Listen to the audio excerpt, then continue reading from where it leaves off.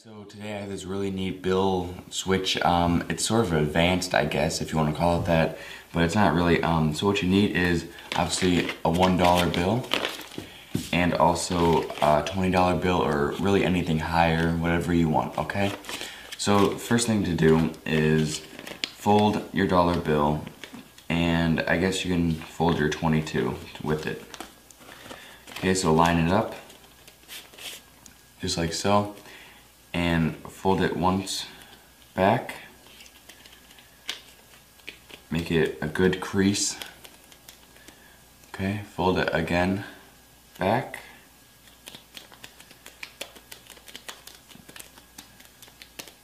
Okay, so now you have that. And just fold it downwards. Okay, so it's just like that. Okay, so now unfold it then your bills should have some nice creases. Okay, so take your $1 bill and just lay it flat. Now take your 20 and you're gonna fold it up again, just how you did. So just like this. Okay? And now that you have your dollar, what you wanna do is put the $20 bill about all the way to the left, but put it about in the middle. Just like so, okay? Then hold it with your thumb, with your fingers, just like so, okay? And to show it, you know, to do that, you go like, see? And let me show you how you do that. It's really simple actually, okay? Okay, so let me do a back view of that. All right, so to do the thing I was doing is obviously have the 20 right there in the middle and you're gonna like snap the bill, you know, like when you go like that, okay, and then you're gonna grab it with your right thumb and show there's nothing there by just going like that.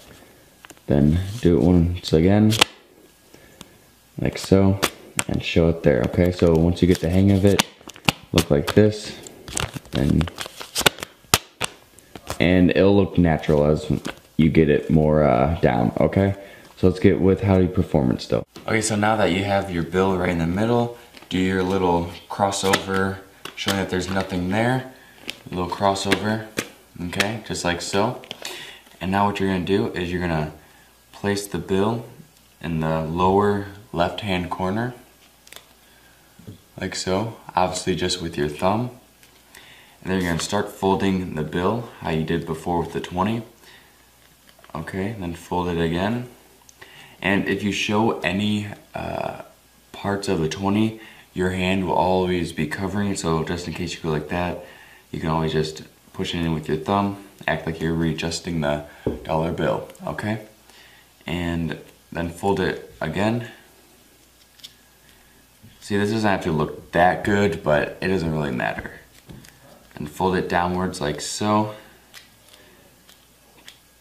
And now, to do this switch or, uh, I don't know, fake grab or something, it's any way you want, okay? So what I like to do is I like to go like this, the dollar bill's right there, and then I like to hand them this very quickly and say, put it in your hand, like this and make it squeeze really hard with so you have to do it quickly or else they will see the 20 but just squeeze really hard. And then you can pocket this while you're doing something else get a pencil out tap their hand and then show tell them to turn over and they'll have a $20 bill.